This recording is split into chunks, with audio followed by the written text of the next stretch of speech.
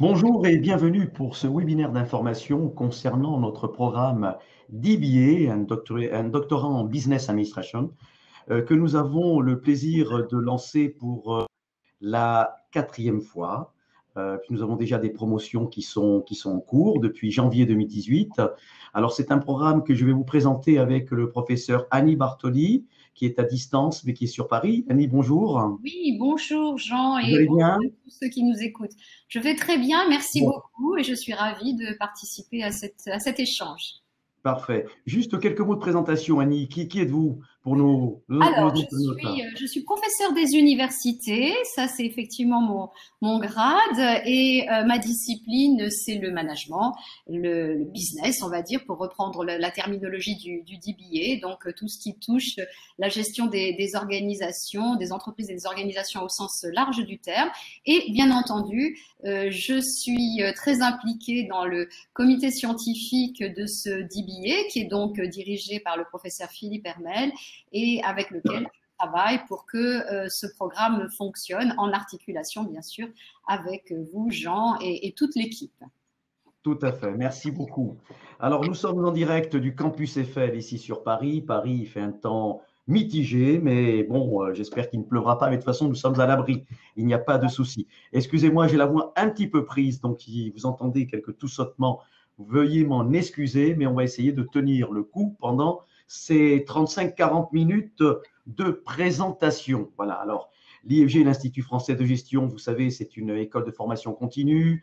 Euh, depuis 1956, nous avons de nombreux programmes euh, de niveau master MBA, euh, notamment un sur les masters RH avec le professeur Bartoli sur les ressources humaines et la transformation des ressources humaines.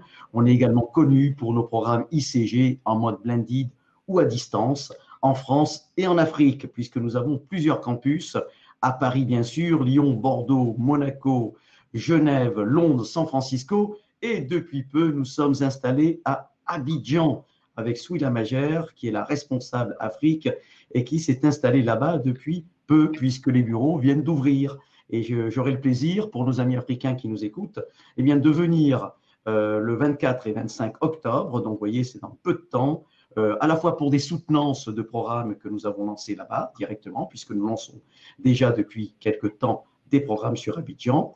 Et nous avons d'ailleurs, Annie, beaucoup de nos amis africains qui nous font le plaisir de venir sur ce programme d'IBA, ce doctorat en business administration. C'est un doctorat professionnel.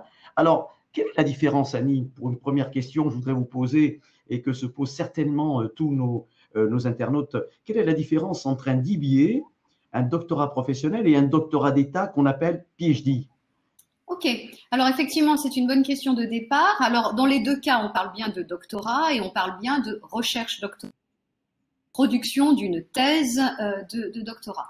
La différence, elle est dans euh, l'esprit et la logique. Euh, en ce qui concerne les PhD qu'on a l'habitude d'avoir d'ailleurs dans une multitude de disciplines, hein, euh, quel, soit vraiment le, champ, quel que soit le champ disciplinaire, il existe des PhD. On est davantage sur de l'approche théorique, de la conceptualisation, du travail fondamental, hein, de recherche fondamentale, alors que lorsqu'on est sur un 10 billets. Déjà là, on est dans la discipline du business et du management, comme son nom l'indique, Doctorate of Business Administration. Mais à la différence d'un PhD en management, là, on va vraiment s'appuyer sur la pratique et c'est à ce titre qu'on peut parler euh, d'une recherche professionnalisante, d'une recherche action, d'une recherche basée sur les acquis, les connaissances que les participants ont euh, de la vie organisation. Donc ça, c'est vraiment euh, la grande différence entre les deux euh, dispositifs. Encore une fois, dans les deux cas, on est bien au niveau de, du doctorat. Et ça, c'est important aussi à retenir. Donc, donc sur le DBI, on va, mixer à la fois euh, les expériences professionnelles de nos candidats avec toute la recherche nécessaire pour réaliser notamment la thèse, puisqu'il y aura une thèse, bien sûr, à réaliser. C'est bien ça c'est exactement ça. Donc, il y a à la fois euh, des enseignements euh, très interactifs interactif, hein, toujours. Le, propre de ce programme, c'est vraiment des enseignements très interactifs, mais pour apporter effectivement un, soutien, un transfert de connaissances, d'informations, des méthodologies de recherche, etc. Et tout le travail de recherche à proprement parler sur une thèse qui est euh, l'aboutissement, on va dire, de l'ensemble du, processus. Donc, euh, les séminaires, des cours, euh, des interactions avec des, responsables d'entreprises et d'organisations, évidemment le travail en bibliothèque et évidemment le pilotage des professeurs pour l'avancement de, la thèse. Oui, puisqu'on le verra tout à l'heure, effectivement, nos participants seront suivis hein, de façon individuelle ah par euh, une personne habilitée à suivre ces recherches et qui sera euh, un bon conseil, je dirais, pendant ces 30 mois, puisque ce programme est prévu euh, sur une durée de 30 mois. Annie, il n'est il pas envisageable, effectivement, de proposer un programme d'IBA, ça ne serait pas sérieux. Euh, sur un an, par exemple, il faut le temps ben, d'abord d'appréhender beaucoup d'éléments nouveaux, notamment sur le quantitatif, le qualitatif, la méthodologie de recherche, etc., tout le processus de la thèse, qui prend quand même un certain temps, 30 mois, c'est le minimum. Ah non, que tout à fait. je crois vraiment qu'il faut partir du principe que les 30 mois sont absolument nécessaires et qu'il n'est pas possible de les, euh, de, les, de les, réduire. Parce que là, on est quand même dans un processus de, création de, connaissances, hein, de connaissances euh, actionnables dans l'action, dans, dans l'activité. Mais on est sur un processus de création de connaissances et donc euh, on ne peut pas faire sortir miraculeusement les savoirs sans avoir véritablement approfondi toutes les bases nécessaires, sans avoir pris connaissance de tout ce qui a pu être dit ou écrit sur le sujet qu'on veut traiter ou autour du sujet qu'on veut traiter. Et pour vraiment devenir expert euh, de ce sujet, de cette problématique et, du savoir que l'on veut euh, créer, eh bien, il faut un temps à la fois de recherche bibliographique, d'acculturation personnelle, de recherche sur le terrain, euh, des travaux d'enquête, des travaux d'observation, euh, et tout ceci, évidemment, la, rédaction à proprement parler, tout ceci prend du temps et nécessite une véritable maturation et surtout nécessite de, de s'appuyer sur des critères de rigueur scientifique qui supposent justement de faire les choses avec le temps nécessaire pour les oui.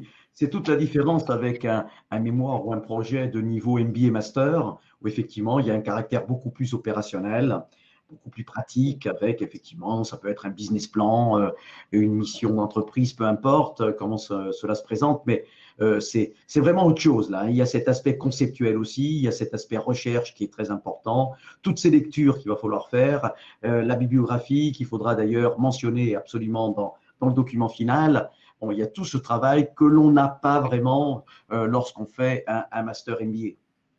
Oui, tout à fait. Jean, vous avez raison de, faire ce distinguo également. Euh, beaucoup de, participants ont, déjà hein, euh, fait ou sont en train de terminer un, un, MBA pour ceux qui vont arriver dans les prochaines promotions. Et donc, euh, très vite, d'ailleurs, les participants des, promotions qui sont déjà engagés en, en nous disent qu'ils ont très clairement compris quelle était la différence. Ils n'avaient pas forcément complètement perçu au départ avant de, démarrer, mais ensuite, ont vite vu la différence.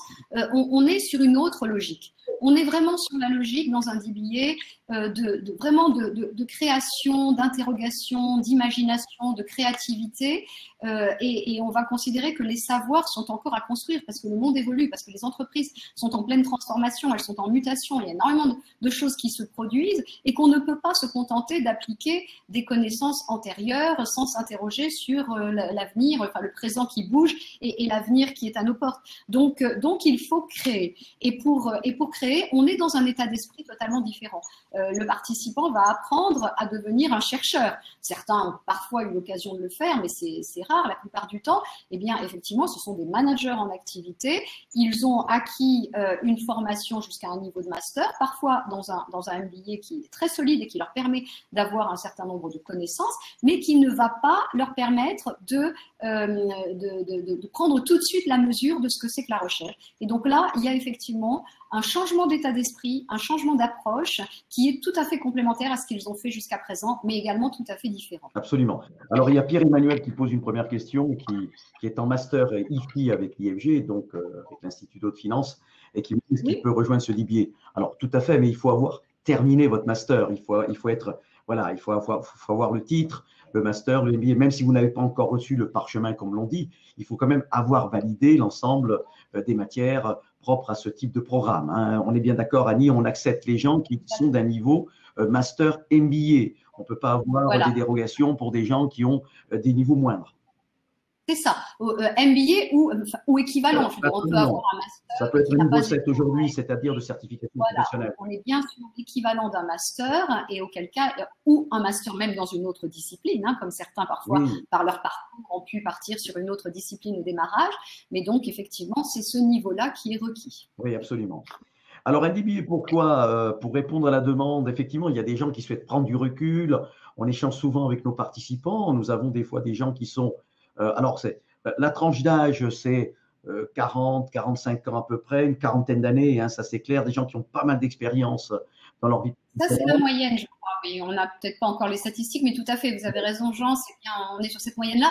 Pour autant, la fourchette est large. Oui, hein, donc, absolument. On a voilà, on a, on, a des un peu plus jeunes et on a euh, des euh, plus avancés en âge euh, parce que justement ils souhaitent à un moment donné prendre ce recul nécessaire parce qu'ils ont beaucoup donné dans la pratique et que c'est utile pour eux de, de, de marquer ce temps un peu particulier. Oui, absolument. Ils veulent peut-être capitaliser tout simplement sur les expériences acquises et, et faire en sorte qu'à la fin, je, me rappelle d'un participant qui, qui venait de prendre sa retraite et qui s'était inscrit sur un DBA et qui disait, voilà, moi je tiens absolument à, à marquer un petit peu euh, l'ensemble de, ma carrière professionnelle. Et, pour ça, un DBA, c'est très important pour moi de capitaliser, euh, de d'écrire quelque chose sur ce que j'ai vécu, mais de façon beaucoup plus conceptuelle et de devenir un spécialiste de cette matière-là. D'ailleurs, à ce sujet, Annie, euh, on me pose souvent la question comment peut-on valoriser ce DBA sur le marché?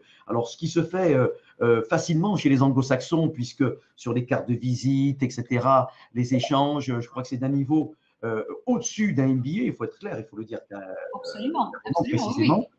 Et, donc, chez les anglo-saxons, c'est très acquis. Alors, en France et, en Europe, ça l'est peut-être un peu moins encore, mais je vois de plus en plus de gens qui, sur leur CV, mentionnent ce doctorat, avec notamment le sujet de thèse qu'ils ont passé et l'ensemble des professeurs qui ont validé ce, sujet, ce travail. C'est très important et leur qualité. C'est très important de montrer sur un CV de, de, sur quel sujet on est devenu le spécialiste. Voilà. Plutôt que de mettre juste j'ai eu un, simple dibier. On, on est bien d'accord. C'est important de valoriser cette spécialité. Absolument. La spécialité en soi devient le champ d'expertise euh, du, euh, Donc, il est, il est devenu l'expert, il en a fait la démonstration, et on parle vraiment beaucoup de démonstration en matière de recherche. Euh, il a eu toute la crédibilité et toute la légitimité euh, qui est maintenant garantie par le fait qu'il a soutenu sa thèse devant un jury de professeurs euh, d'universités de haut niveau qui eux-mêmes sont les garants de la qualité scientifique euh, de ce qu'il a fait. Et donc, je ne suis pas étonnée de ce que vous dites, Jean, c'est-à-dire qu'à la fois, on, lorsqu'on a obtenu ce, diplôme, on a à la fois intérêt à mentionner le champ d'expertise qu'on a développé dans sa thèse et également la qualité euh, du euh, jury euh, de professeurs qui a validé hein, le, diplôme parce que crédibiliser le, programme. Oui, tout à fait. On va répondre à quelques questions. Alors, j'ai Willy qui, qui, nous écrit là, qui est à La Réunion, qui avait passé son master MBA ICG, ICG en 2014. Et il me dit, vous avez, vous avez été mon intervenant. Donc, effectivement, Willy, merci pour ce rappel.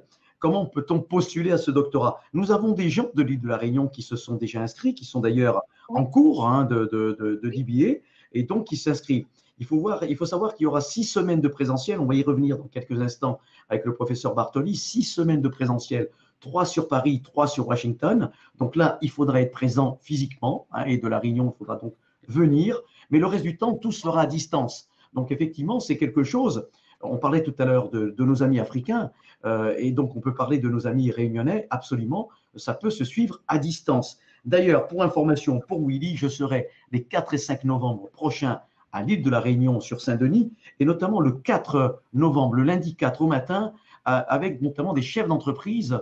Et à ce moment-là, Willy, il faudrait peut-être m'écrire directement pour qu'on puisse se rencontrer, puisque on va parler notamment de, de ces hein, de ce DBA et de ces possibilités de le suivre mais sans aucun problème, puisque la plupart de nos participants ne sont pas sur Paris même, hein, bien évidemment. Ils sont un peu partout dans le monde. Donc, il n'y a aucun problème, Willy, pour suivre ça. Alors, Andrea, Andrea nous pose le titre de DBA. Oui, c'est le lien avec euh, euh, vers le stade HDR, c'est-à-dire vers le PhD. Est-ce qu'il y a une passerelle, euh, Annie, entre ce DBA et faire un PhD la, par la suite? Alors ok, donc je vois question sur la question d'Andrea qu'elle est déjà bien au fait euh, le, le, milieu euh, universitaire et, les enseignements académiques, puisqu'elle parle tout de suite d'HDR, d'habilitation à diriger des, thèses. Alors, euh, le, le, DBA ne permet pas à lui seul de passer ensuite dans le processus de, HDR dont, elle parle, qui est dans la carrière académique et universitaire un, un, niveau vraiment élevé, puisque ça veut dire qu'à ce moment-là, ensuite, on peut soi-même diriger des thèses. Alors, évidemment, tous les enseignants qui sont dans le programme euh, de, de, DBA, de cette International Executive DBA dont on parle, euh, piloté par le professeur Hermel, tous les enseignants euh, ont, sont titulaires de cette fameuse HDR, qui est donc, comme je disais, un grade avancé de, la, de la carrière universitaire. Mais la passerelle n'est pas directe.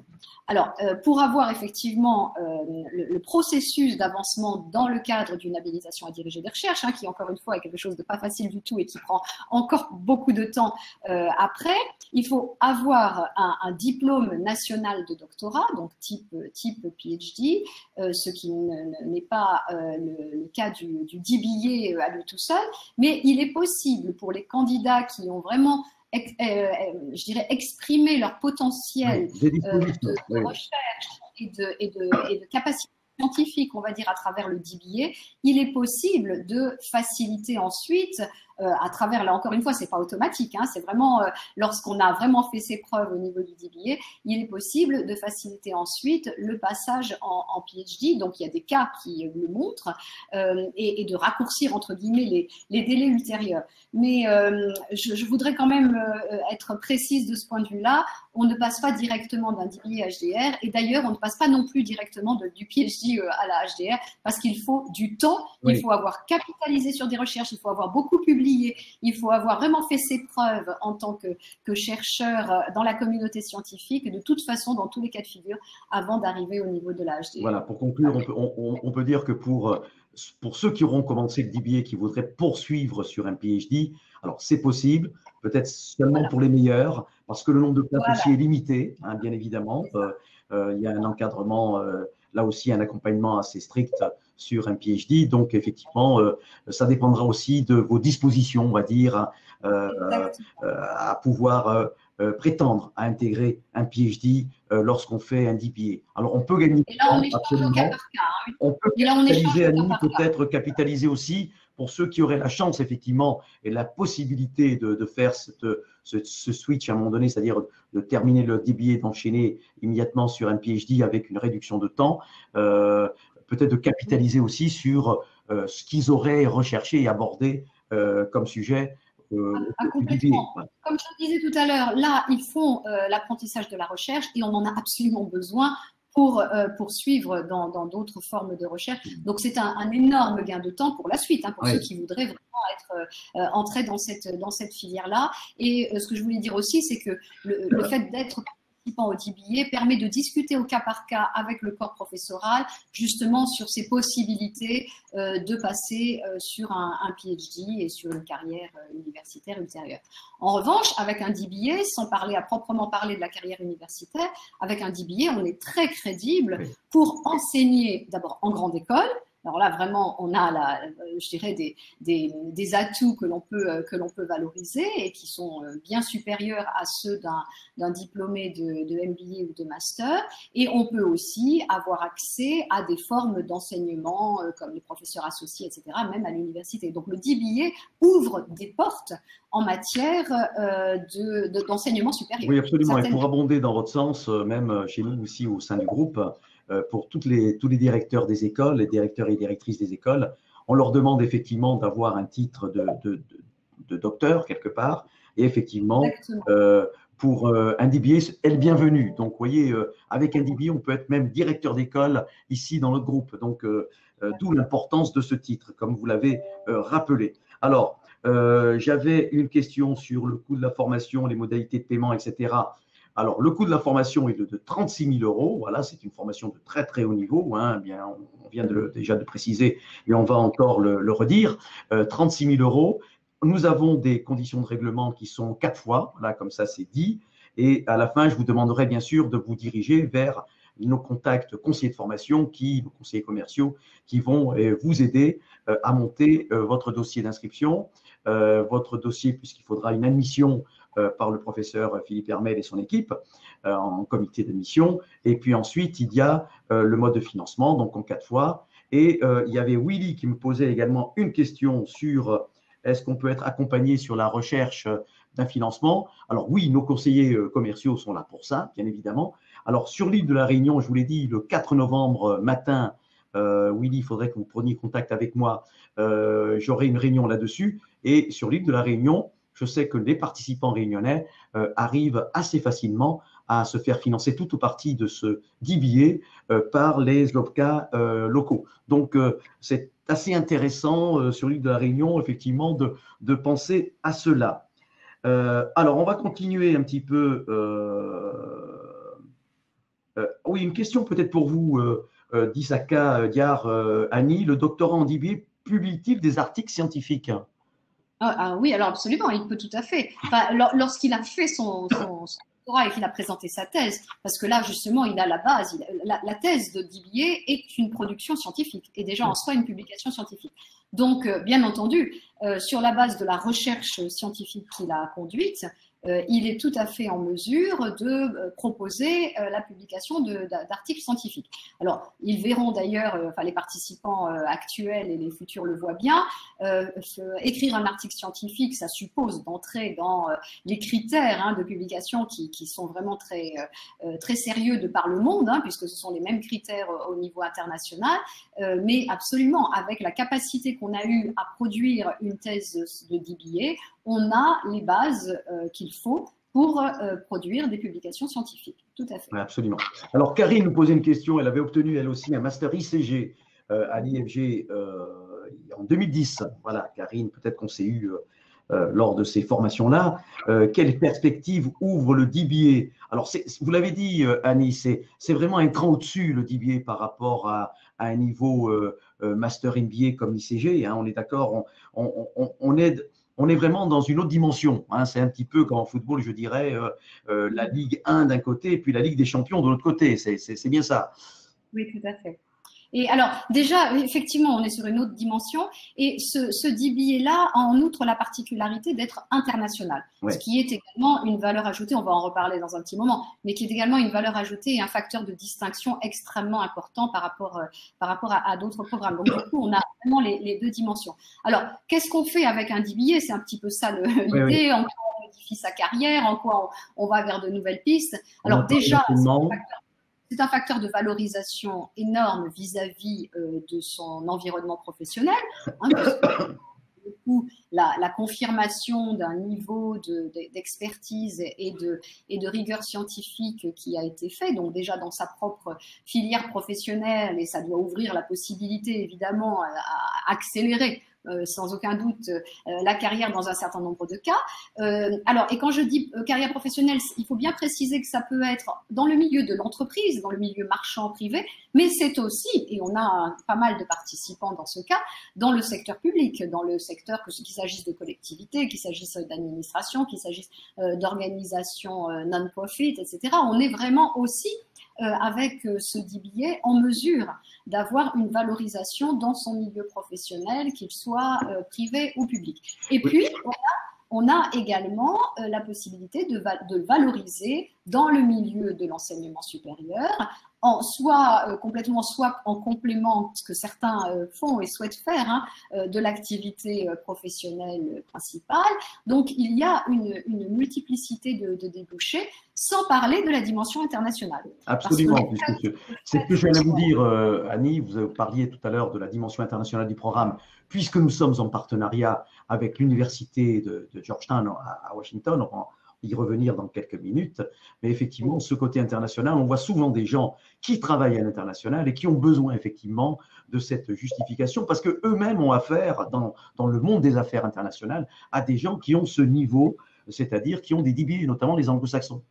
Exactement. Et la dimension internationale de ce programme est également un atout vraiment extrêmement valorisable euh, dans, sa carrière euh, et, qui est généralement très, apprécié. Et là, je dirais que l'aura dont bénéficie euh, en plus Georgetown University, dans lequel les participants vont être complètement immergés dans séminaire est également un atout complémentaire dans, le programme et pour la valorisation et les débouchés ultérieurs de ce, de ce DBA. Alors, on a parlé des motivations hein, personnelles, professionnelles, Annie, euh, euh, vous en avez parlé tout, à l'heure. J'insisterai sur le fait qu'il y a quand même un engagement assez important de la part de nos participants. Ce n'est pas, permettez-moi de le dire, un hobby du week-end. Il faut vraiment s'investir. Il faut peut-être prévenir aussi autour de, soi, sa famille, ses, son conjoint, ses enfants, etc. Parce que c'est une aventure excitante, mais qui nécessite un engagement. Euh, presque de tous les jours, je dirais, parce qu'il faut être en veille, en veille permanente pour pouvoir assurer euh, euh, notamment la réalisation de la thèse qui sera demandée. On va y revenir dans quelques instants, Annie, hein, sur cet aspect euh, thèse notamment. Alors, il y avait une question sur le classement de ce DBA par rapport à d'autres, etc. moi, je crois qu'il faut venir là-dessus pour répondre à ce type de questions sur qui valide le DBA et qui sont nos intervenants sur le DBA. Parce que finalement, c'est on, a mis en place un, personnel et je dirais un, staff d'accompagnement, euh, des gens qui vont euh, vous encadrer sur vos thèses, qui vont vous accompagner tout au long des sessions présentielles, qui vont vous guider euh, sur la réalisation de, ce DBA, qui est vraiment de très très haut niveau. Annie, il y a le professeur Philippe Hermel, et je crois que c'est ça qui est important de dire. C'est la personnalité, le passé, l'expérience, ce que font actuellement ces gens-là, qui fait aussi la différence dans ce type de parcours. Oui, absolument. Alors, euh, effectivement, à la, à, la, à la question euh, des, des, classements, euh, c'est pas c'est pas possible aujourd'hui de répondre à cette à cette question. Bon, d'une part parce que d'une part parce que le DBA est quand même euh, un, un, programme relativement récent, même si c'est déjà bien établi hein, dans pas mal de pays, au regard euh, du développement euh, qui a été euh, très fort des MBA depuis plusieurs décennies. Donc, on n'est pas en mesure à l'heure actuelle de mettre des classements sérieux. On peut faire tous les classements du monde, mais des classements sérieux sur ces programmes. En revanche, ce qu'on peut dire, c'est qu'il en existe euh, de par le monde. Alors, la France n'a pas, euh, je dirais, le, beaucoup encore développé de DBA, mais il commence à en avoir quelques-uns. Mais on a bien sûr tout le monde anglo-saxon, également les pays européens, hein, donc il ne faut pas oublier, qui ont beaucoup développé de, euh, de, de DBA, qu'ils soient anglo-saxons ou pas. Euh, donc, il y a vraiment une, une culture internationale hein, du, du, de la valeur du programme de, de DBA, euh, qui en soi est déjà un, un, un acquis. Alors après, qu'est-ce qui fait la différence entre ce programme particulier et d'autres? Bon, bah, chacun peut, euh, peut, avoir des, des atouts et des, et, et, des, et, des, limites, mais là, en l'occurrence, moi, je crois qu'il y a deux choses qui sont très importantes. Il y a d'une part le fait qu'il s'agit d'un International Executive DBA. Et je reviens beaucoup sur ce IE DBA parce que certains des participants que j'ai encore vus récemment à Georgetown University des promotions précédentes disaient toute la différence, elle est là, elle est là aussi. Elle est là parce que International Executive, ça montre vraiment déjà qu'on est au niveau effectivement exécutif des cadres supérieurs, mais surtout le international, euh, avec vraiment l'immersion dans les logiques de mondialisation, de globalisation et tout ce que ça peut vouloir dire comme enjeu nouveau pour les organisations aujourd'hui, est un point fort et un point de distinction euh, majeur avec un certain nombre d'autres programmes. Le deuxième grand atout, je crois qu'il ne faut pas, faut pas avoir peur de le, de le signaler, c'est comme vous venez de le dire, Jean, le corps professoral. Alors, le corps professoral est composé de professeurs des universités ou de maîtres de conférences habilités à diriger les recherches, les fameux HDR dont parlait tout à l'heure euh, l'une des participantes, euh, qui sont de renommée internationale euh, et qui sont euh, évidemment très investis dans le champ du management, sur les différentes spécialités du management, et qui ont justement euh, cette habitude de d'articuler le, le monde de la recherche et le monde de, des entreprises et des organisations, et de le faire en plus dans un contexte international. Donc l'équipe pédagogique, à proprement parler, le, corps professoral, euh, et ceux qui vont valider, puisque je crois qu'il y avait aussi une question sur la validation, les modalités de la validation, ceux qui vont valider le diplôme, notamment dans le jury de soutenance, sont d'une légitimité incontestable dans le milieu scientifique et universitaire, avec une dimension internationale en complément. Absolument. Et puis c'est une équipe mixte entre Paris, Versailles, Washington, hein, d'accord. A, mis effectivement une équipe en place avec le professeur Philippe Hermel, euh, très internationale, c'est ça. Et d'ailleurs, ceux qui voudraient d'ailleurs faire leur thèse en anglais, en langue anglaise, c'est tout à fait possible de le, réaliser pour ceux qui seraient plus à l'aise euh, en anglais notamment. Puisque vous évoquez cette question, Jean, elle est importante. C'est vrai que la langue anglaise va être un, un outil, j'ai envie de dire, de communication utile au moment des séminaires internationaux qui se passeront à euh, Georgetown University, donc à Washington, en anglais. Pour autant, ce n'est pas un obstacle pour ceux qui ne seraient pas complètement à l'aise, parce que les modalités euh, d'interaction et les modalités pédagogiques permettent de s'adapter à différents niveaux de maîtrise de l'anglais. Mais il faut quand même avoir un, minimum euh, d'acquis de ce point de vue-là. Et à l'inverse, ceux qui se sentiraient à l'aise pour euh, la rédaction de leur thèse en anglais vont pouvoir le faire. Il y en a d'ailleurs hein, dans les promotions euh, actuelles qui euh, réalisent leur thèse en anglais parce que bah, leur, leur, propre expérience ou leur propre carrière les a amenés à pratiquer l'anglais et donc ils se sentent plus à l'aise dans cette, dans cette langue. Oui, et puis il faut préciser qu'on a démarré euh, ce programme depuis près de deux ans maintenant.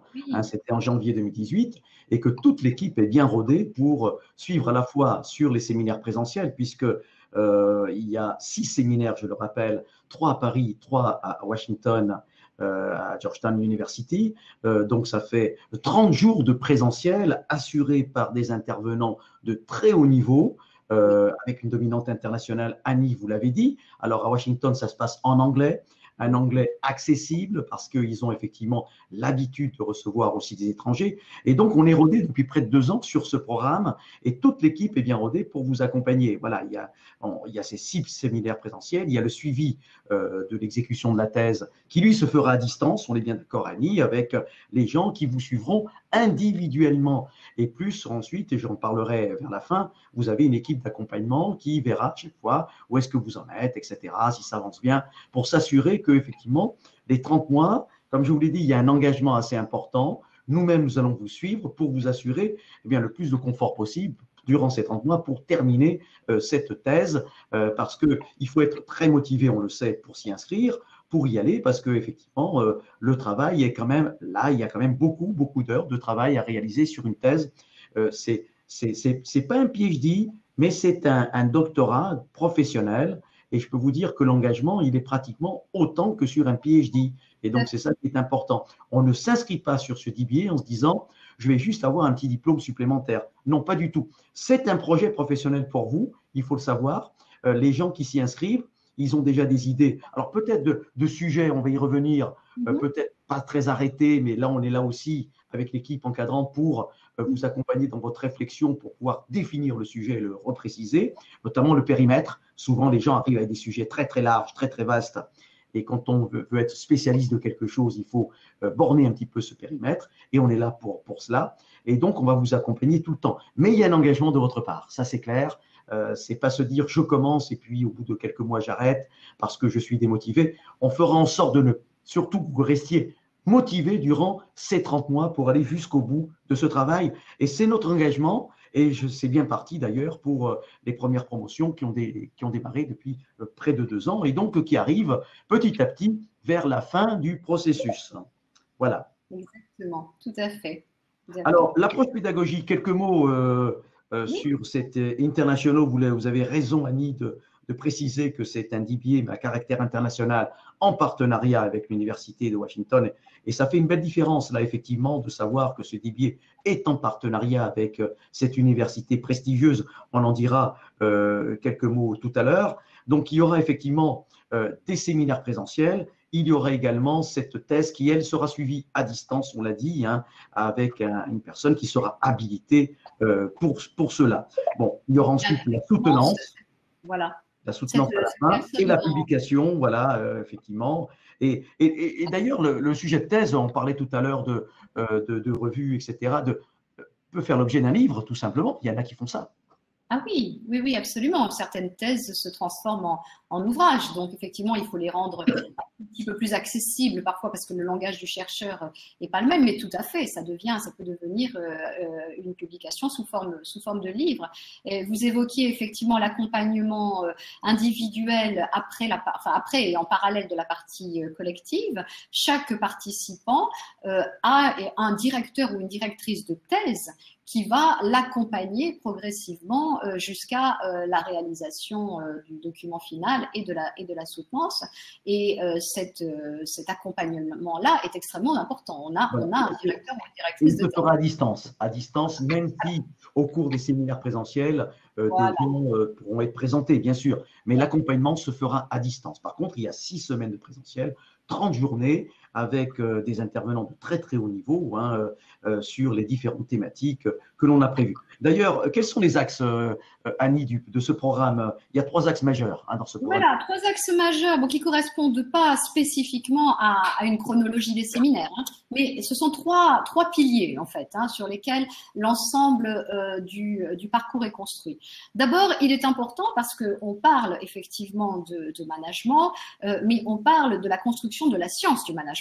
Donc, il est important de se mettre à niveau ou d'approfondir certaines thématiques sur lesquelles on veut euh, un accent particulier, sur les différentes écoles de pensée et les approches en management euh, qui existent dans le monde, qui existent, qui ont existé, leur évolution et, ceux qui sont les plus euh, contemporains et les plus actualisés. Donc là, on va vraiment faire le point sur les travaux fondamentaux en matière de, management. Quels sont les chercheurs qui ont marqué Ceux finalement qu'on retrouve ensuite quand on est euh, étudiant en, master ou en MBA, mais on, ne sait pas comment ils ont construit leur, euh, leur programme, leur pensée, comment ils se situent les uns les autres. Donc là, on a vraiment un apprentissage sur cette partie-là qui est l'axe 1.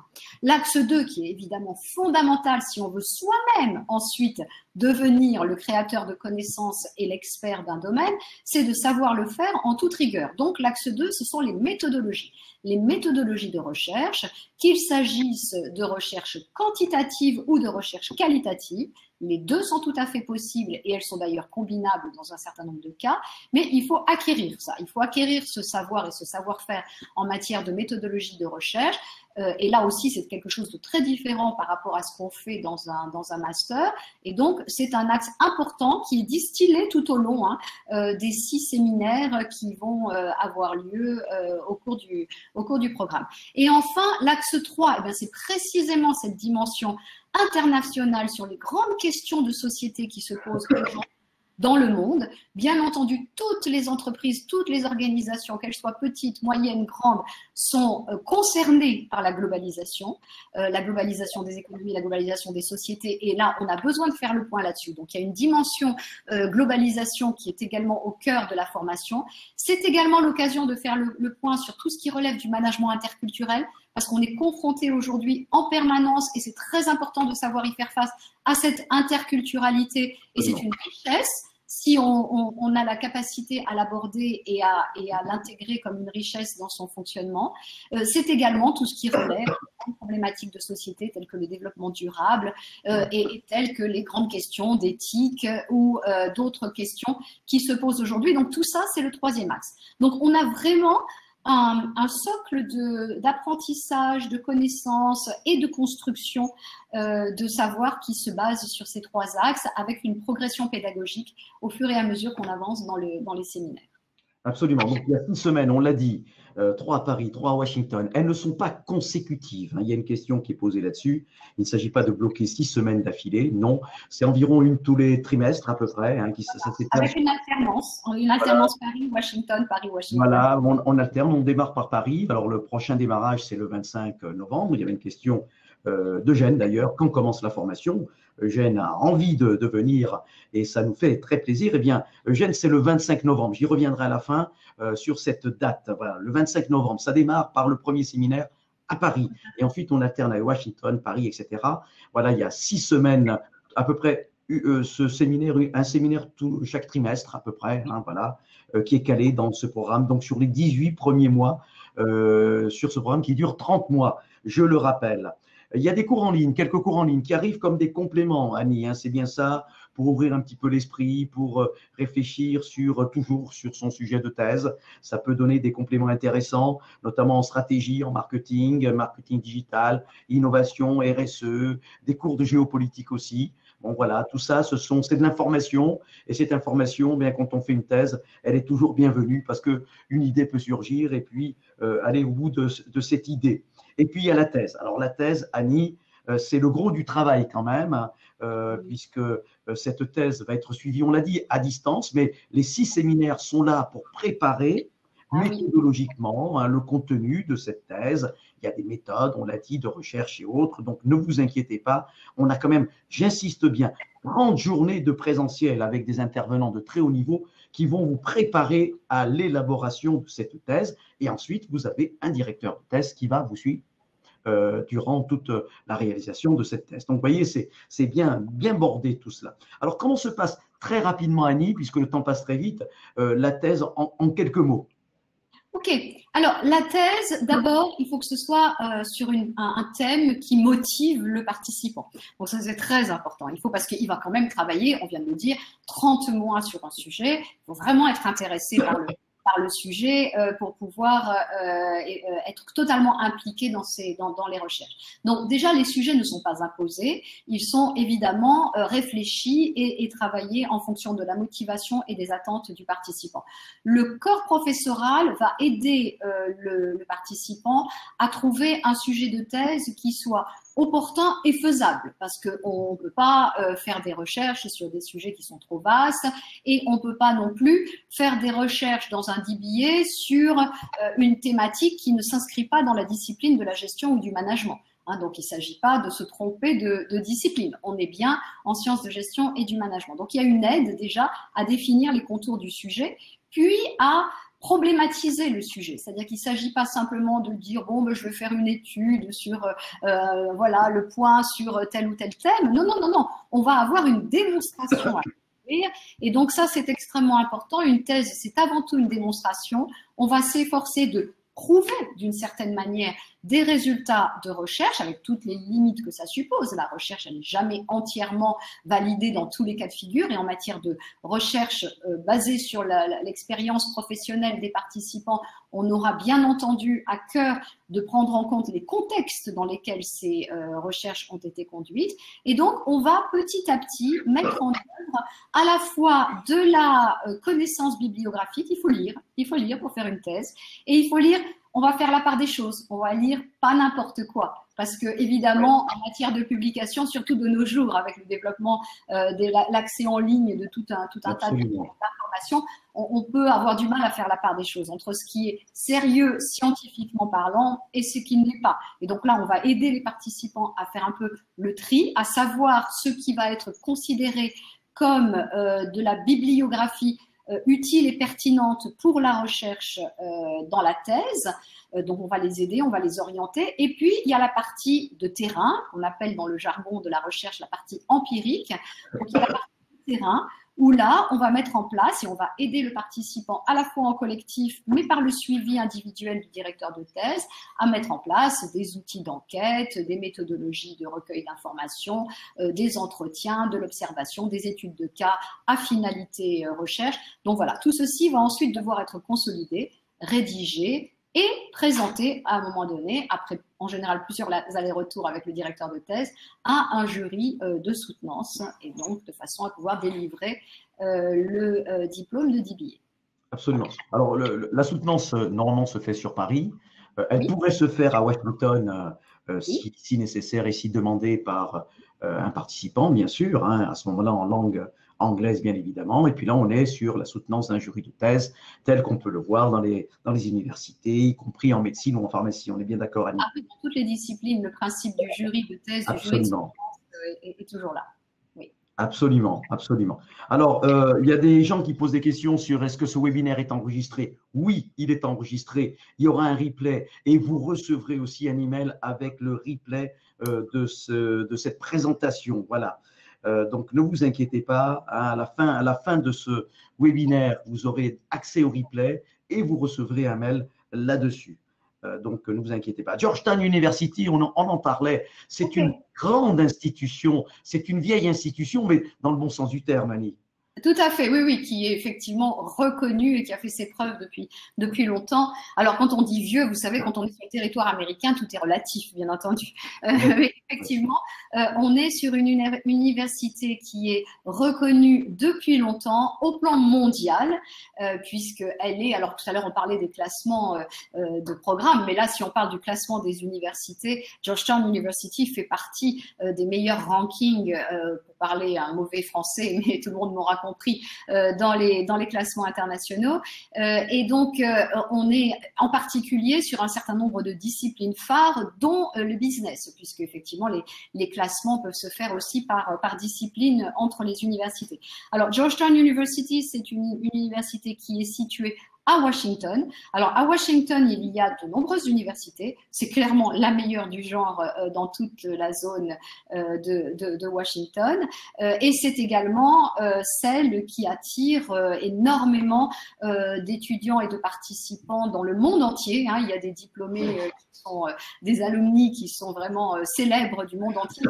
D'ailleurs, dans le monde politique, il y a même des je ne vais pas les citer, mais des présidents euh, euh, de, pays, hein, de nations euh, multiples qui ont pu, ou des premiers ministres qui sont passés par, sur les bancs de Georgetown University. Donc il y a véritablement, et, de, grands, de grands capitaines d'industrie également, hein, de grosses entreprises, voilà, qui sont passés par, par les bancs de, de, Georgetown University. Donc il y a vraiment, c'est vraiment une université qui a toutes ses lettres de noblesse et qui est connue pour la, à la fois la qualité bien sûr de ses recherches, la qualité de ses, de ses enseignements, pour ses séminaires exécutifs également, donc les séminaires en, en formation continue pour euh, les cadres supérieurs et les dirigeants, euh, et la qualité de ces, euh, de ces séminaires, puisque c'est un petit peu dans cet esprit-là que va fonctionner le, les séjours qui se feront à, Georgetown University.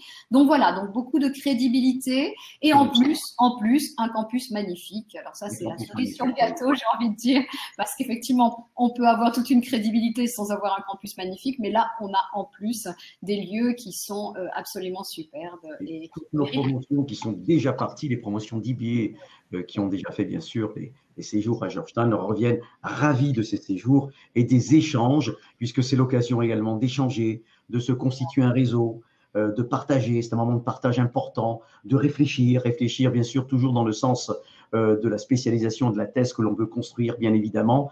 Euh, c'est un petit peu comme, vous voyez, euh, tous ces gens, je connais bien le monde mathématique, voilà, des, qui se rejoignent à un moment donné, qui vont partager, échanger, parce qu'on ne peut pas construire une thèse digne de ce nom si on n'échange pas. Donc ça, c'est très, très important, le partage de la communication. Annie, je pense que vous êtes d'accord avec ce que je viens de dire. Entièrement, entièrement. Un point fort, c'est l'accompagnement. Je vous l'ai dit, vous ne serez pas seul. Alors effectivement, le directeur de thèse sera là avec vous. Euh, il va vous suivre individuellement. N'oublions pas vos collègues, vos pairs de la promo. Ce sont des promos euh, en général entre 8 et 15 personnes euh, pour situer un petit peu la taille de la promo. On ne veut pas de trop grandes promotions parce que il faut privilégier les échanges. Ça, c'est très très important et le bon suivi, le bon accompagnement.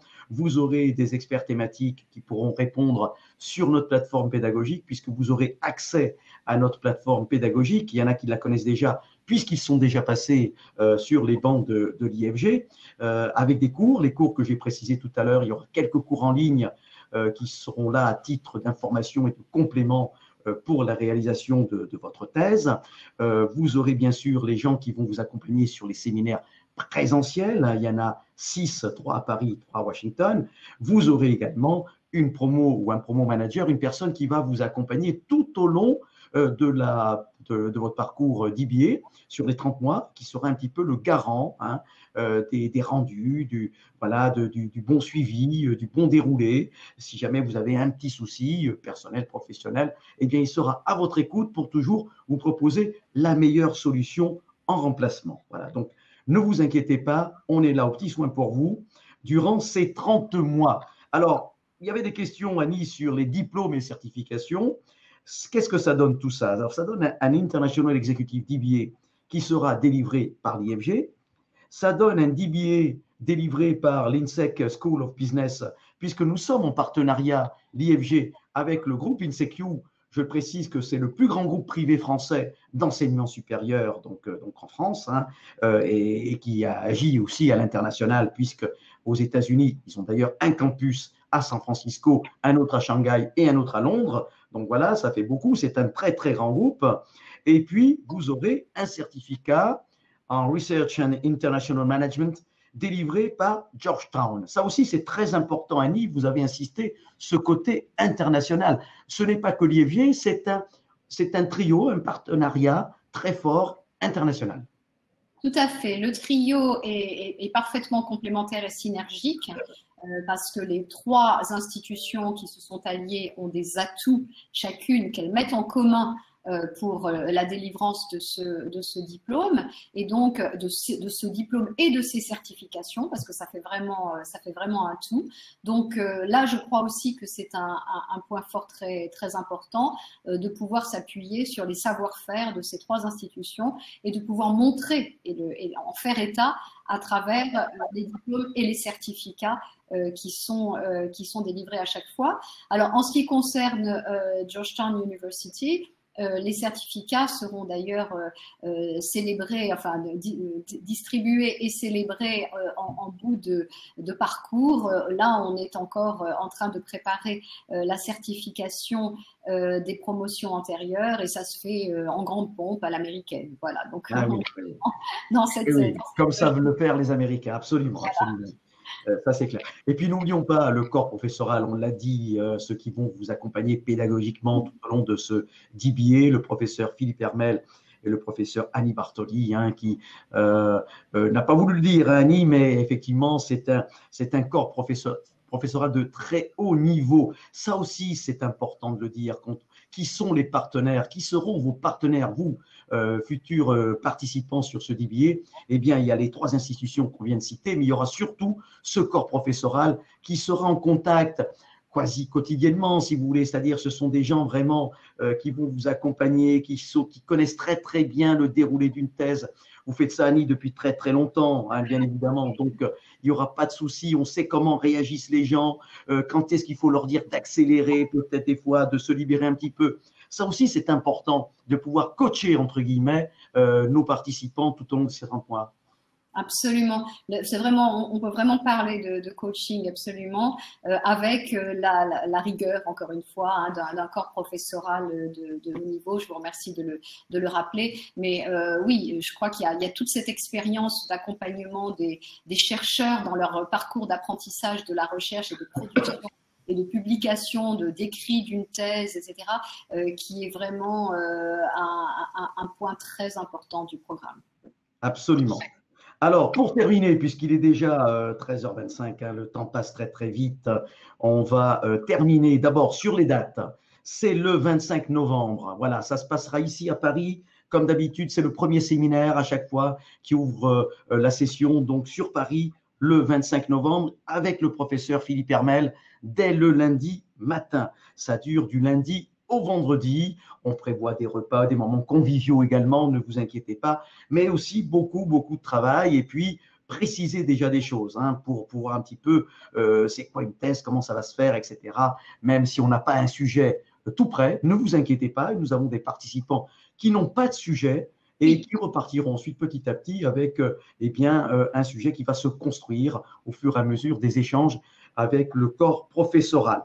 L'année prochaine, ça sera le 25 mai. Voilà. Alors, ceux qui ne veulent pas démarrer en novembre, ça sera pour le mois de mai. Mais si vous voulez gagner un, peu, un petit peu de temps, parce que ça dure quand même 30 mois, c'est le 25 novembre. Voilà, c'est ici, sur nos campus. Nous avons quatre campus ici, euh, près de la Tour Eiffel, qui est toujours là. D'ailleurs, elle n'a pas bougé, je peux vous rassurer.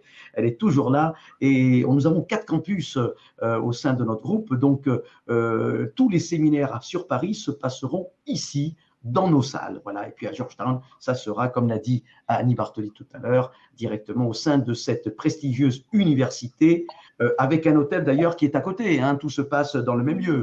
Oui, tout est organisé pour que ça se passe. L'hôtel, etc. Ils ont billet d'avion par contre à prendre en charge. Voilà, billet d'avion se restera à votre charge. Mais l'hôtel, les coûts pédagogiques, tout ce qui va avec, c'est pris dans le coût de la formation. Dans le coût de la formation. Oui, absolument. Ainsi Que les, déplacements dans les entreprises, parce qu'effectivement, même sur, sur le, au cours des séminaires à Georgetown University, euh, il y a le, cette acculturation, cette découverte en fait hein, euh, d'un contexte international qui est mis en place en, en complément. Et donc euh, là, les, les, déplacements dans les entreprises, tout ceci est pris en charge dans le, dans le cadre du séminaire. Tout à fait, tout à fait, tout à fait. Alors, c'est le 25 novembre, on l'a dit, euh, ça démarre dans, peu de temps. Il y a déjà pas mal d'inscrits, hein, bien évidemment, donc euh, n'hésitez pas encore, il reste des places. N'hésitez pas à consulter eh bien, euh, nos conseillers formation, nos conseillers commerciaux. Ils sont soit joignables par mail, vous avez l'adresse là qui s'affiche devant vous, diplômant groupe ifg, groupe-ifg.fr ou bien par téléphone pour ceux qui souhaitent le faire au 09 70 155 700. Voilà, ils sont tous à votre disposition pour euh, eh bien, vous inscrire. Ils vous épauleront sur le dossier d'inscription. Il y avait une question euh, tout à l'heure euh, qui était posée, y compris sur le dossier de financement, puisqu'il y a possibilité de payer en plusieurs fois. Et puis, des fois, possibilité également de se faire financer tout ou partie de la formation. Je ai répondu à Willy, qui était de la Réunion, sur ce sujet. Voilà. Je suis présent à Abidjan, je le rappelle, les 24 et 25 octobre. Donc prochainement, euh, ceux qui souhaiteraient me rencontrer là-bas euh, prennent contact avec nous et à ce moment-là, on fixera un rendez-vous si on veut parler un petit peu de ce DBA. Euh, sur la Réunion, ben, j'y suis aussi. Vous voyez, on, enchaîne les déplacements, Annie, sur l'île de la Réunion. Donc, c'est début novembre, les, 4 et 5. Alors, le 5, j'ai des soutenances, mais le 4 au matin, je peux effectivement vous voir et parler, échanger sur ce programme DBA. Voilà, on en a terminé, Annie. Euh, le temps est passé très très vite. C'était toujours aussi passionnant de vous écouter euh, parler de ce programme. C'est un programme qui s'est très très bien lancé. Il a eu très tôt un grand grand succès, un grand grand succès. On ne pensait pas lancer autant de promotions en si peu de temps, mais effectivement, euh, les promotions s'enchaînent, elles s'enchaînent, elles s'enchaînent. Tant mieux pour nous, tant mieux pour vous, puisque ça vous permet d'avoir plus de place pour suivre ce programme. On a des gens bien sûr de métropole, en France, ici, mais également euh, qui viennent des îles. On a parlé de la Réunion, euh, on parle également euh, de l'Afrique, puisque beaucoup d'amis africains nous font plaisir, soit des anciens de l'IFG, soit d'autres personnes, souvent avec des fonctions professionnelles assez importantes, et bien qui effectivement veulent valider un petit peu ce cursus professionnel par ce DBA, avec tous les avantages qu'il va vous procurer par la suite comme l'a rappelé le professeur Annie Bartoli tout à l'heure. Voilà Annie, je ne sais pas si vous avez un petit mot de conclusion pour nos amis euh, qui ont Écoutez, moi, ce que je voudrais dire, c'est que c'est toujours pour moi un grand, grand, grand plaisir euh, de, euh, de m'impliquer dans ce, dans ce programme. Les, les participants euh, sont de, de grande qualité, même si au départ, ils ne savent pas comment s'y prendre. Justement, ils, ils, y mettent le meilleur d'eux-mêmes et c'est vraiment un, un, grand, grand plaisir. Donc voilà, je voulais le dire et je voulais dire que je suis très impatiente de rencontrer les, les, les nouvelles promotions, la nouvelle qui va démarrer en cette fin d'année. Donc, ce sera la cinquième, Jean. On est à la cinquième promotion qui démarre. Oui, et euh, vite, c'est la cinquième déjà. Oui, oui.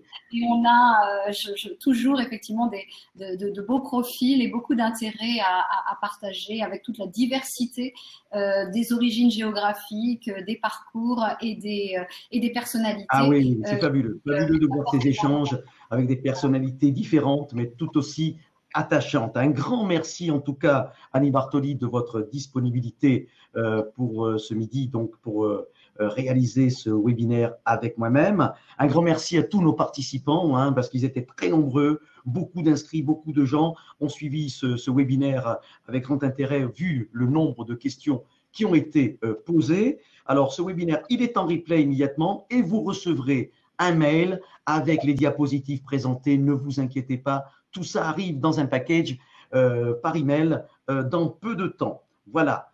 Annie, un grand merci.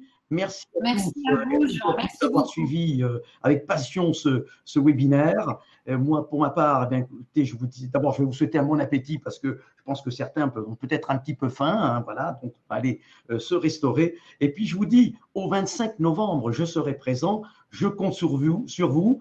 soyez le, plus nombreux possible, hein, même si on limite un petit peu le, nombre d'inscrits pour des questions qualitatives. Hein. Il y a une sélection, il faut être clair On n'inscrit pas n'importe qui, il faut être clair, ça se mérite, ce débier, absolument. Euh, donc, euh, pour le 25 novembre, le 25, ça se passera ici, à Paris. Voilà. Et puis sinon, ça sera au mois de mai, mais ça sera l'année prochaine. Mais profitez du, mois de novembre pour vous lancer. Allez-y dans cette aventure. C'est une belle expérience, une belle aventure, un beau voyage qu'on vous promet avec euh, le professeur Philippe Hermel et Annie Bartoli. En tout cas, un grand merci à tous et à tous. Et je vous dis donc au 25 novembre, je vous dis à bientôt. Merci beaucoup. Au revoir. À bientôt.